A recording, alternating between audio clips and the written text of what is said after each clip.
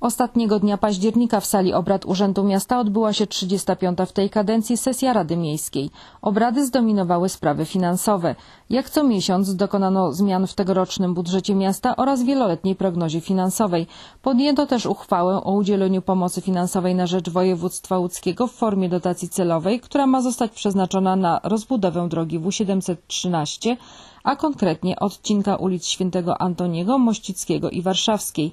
Mają tam zostać zastosowane materiały brukarskie korespondujące z tymi, jakich użyto przy przebudowie placu Kościuszki. Radni na prośbę kupców i osób handlujących na placu Narutowicza wyrazili zgodę na zmianę wysokości dziennych stawek opłaty targowej, uzależniając ją od dnia tygodnia.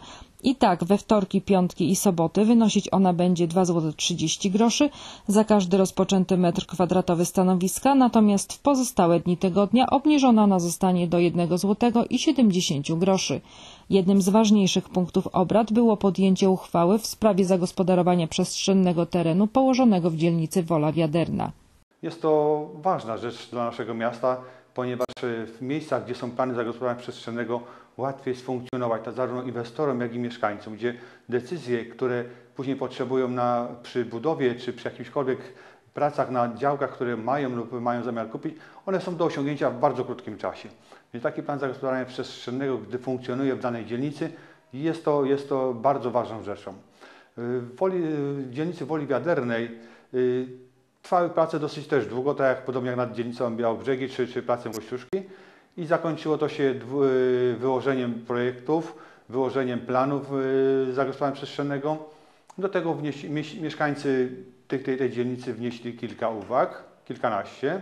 Pan prezydent do wielu się odniósł pozytywnie, jednak w sześciu przypadkach y, no, nie zgodzi się z prośbą mieszkańców, bo to naprawdę były takie rzeczy, które, które nie może, pan prezydent naszym zdaniem też, też podjął dobre, dobre stanowisko.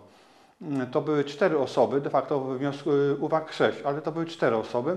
Jedna z tych osób tam kilka uwag wniosła, na przykład, żeby w tym miejscu samochody wolniej jeździły. No to myślę, że to nie jest, y, ale to jest jedna z wielu między innymi no to nie jest w planie zagospodarowania przestrzennego, tych uwag nie ma możliwości takiego umieszczenia. I kilka, kilka podobnych, jak Państwo chcą zobaczyć na stronie, to, jest to cały przebieg z tego procedowania nad tą uchwałą. Całość uchwały, całość uchwały planu zagospodarowania przestrzennego dla Woli uzyskała pozytywną akceptację Rady Miasta i teraz pozostaje tylko, żeby się uprawomocniły decyzje i weszło, weszły w życie jak najszybciej.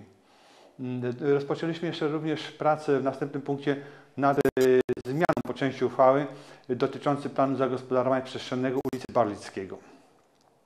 Tak, takowa decyzja już została podjęta wcześniej nad placami, jednak teraz na wniosek tam kilku osób została jeszcze zmiana tej uchwały, ponieważ obszar, który jest objęty planem zagospodarowania nie zmienia się, ale tam pewne, pewne miejsca muszą troszkę ulec zmianie. W związku z tym dlatego jeszcze raz trzeba było uchwałę podjąć, żeby pozwolić na, na inne funkcjonowanie tych, tych danych przełożonych. I to jest miejsce na, na ulicy Balickiego. Jak Państwo wiemy, teraz przy ulicy Balickiego jest galeria. Jest to bardzo ważny punkt strategiczny naszego miasta, gdzie się, gdzie się powinien rozwijać.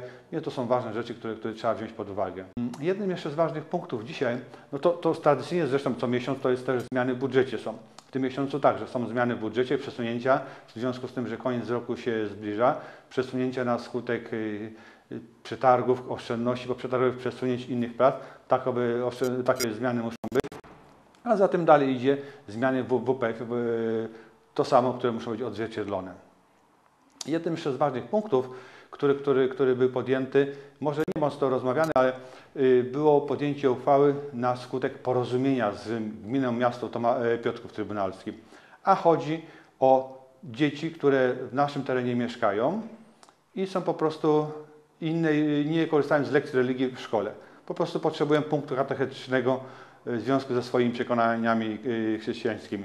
I takowy punkt katechetyczny dla owych dzieci jest w Piotrkowie. Rodzice dwójka to jest tylko dzieci z terenu miasta Tomaszowa, dwójka tych dzieci będzie z rodzicami jeździła do Piotrkowa na własny koszt, miasto za to nie będzie płaciło, jedynie miasto pokryje koszty tych dzieci, którzy tam się będą uczyć. To nie są, to nie są duże koszty, bo koszty dwójki dzieci przy, przy oszacowani przez dyrektora oddziału to są między 200 a 300 zł. Z porządku obrad ostatniej sesji wypadły dwa punkty.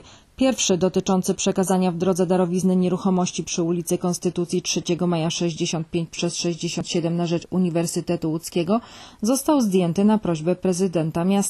O wycofanie drugiego, w którym miała zostać podjęta uchwała o nadaniu tytułu zasłużony dla miasta Tomaszowa Mazowieckiego Antoniemu Smolarkowi, wnioskował radny Iwanicki.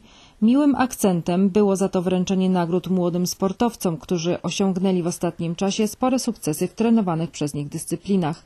Otrzymali je Oliwia Daroch, Aleksandra Warych, a także Marcer Chędzelewski, Dawid Suski, Mateusz Owsianka, Kacper Socha i Kacper Kowalski.